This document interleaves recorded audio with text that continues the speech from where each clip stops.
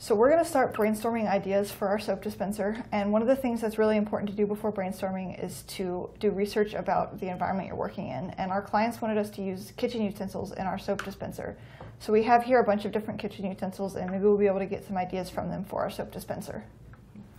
So here we have a circular cheese grater, and the thing I wanted to point out to you guys was how it's hand cranked and how that could be a potential motion that the customer uses. They would hand crank it, and Yeah. then soap would be dispensed into their hand.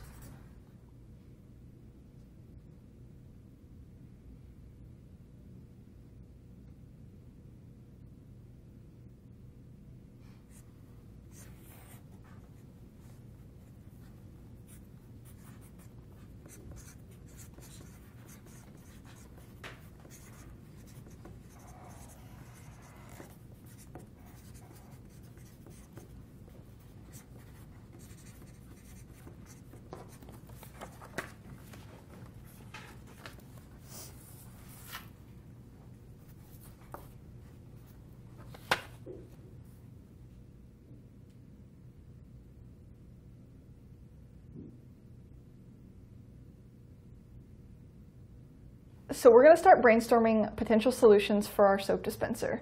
And we're going to use the writing slip method. So I'm going to throw out an idea and then we're just going to talk about it. And any ideas that you have that relate to it or that hitchhike off of it, um, feel free to throw them out and we'll just go from there. So the first idea we have is to cut the soap. Um, so So the first thing I think of when I think or see cut it is something like a knife. Okay. Um, I'm I feel like you could like just like chop down on it, like a Yeah, like yeah. a chopping block kind of thing. And kind of imagine like uh, soap and like so like butter and a knife, right? Like soap on a platter and you like have a knife and you like cut it. So the user could like push down on like something that's connected to a knife that cuts the soap, and it dispenses. Yeah. Yeah, Yeah. should we write that down? Uh, vertical, So a vertical push. yeah. Or I guess if we're going for that type of motion, um, do you guys know those hard boiled egg choppers? It's basically a lot of wires and you kind of Oh, press yeah. down with it. Okay. So it kind of like that. So maybe kind of draw like a knife. one as like a new one. Yeah. Yeah. Or like write it down as a new one. Yeah.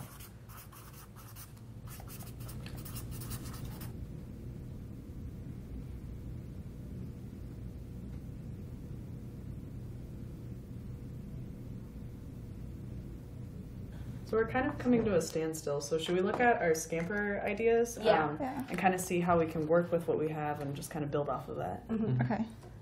So is there anything we can, Um, I guess, modify? Well, or adapt? magnify is one of them. Mm-hmm. So what if instead of just like I'm going back to the very first idea we have, which was to cut it with a knife. Mm-hmm. What ins- if instead of just one knife, like chopping down, what if you had a bunch of knives that like went around it, like like a circle of knives, and you just like stuck ah. the soap in the like middle? a- and it- Circular cheese grater. yeah. Yeah, yeah, yeah. Or like a rotisserie maybe. Like I don't know Yeah. those are in restaurants and they're like constantly Yeah, spinning. That'd be yeah. kind of cool. I'll write that one down. So this one more time. Kind of seems like we're hitting a little bit of a snag. Mm-hmm. Let's go back to these. Let's see, can we put it, eliminate something, rearrange it, adapt it?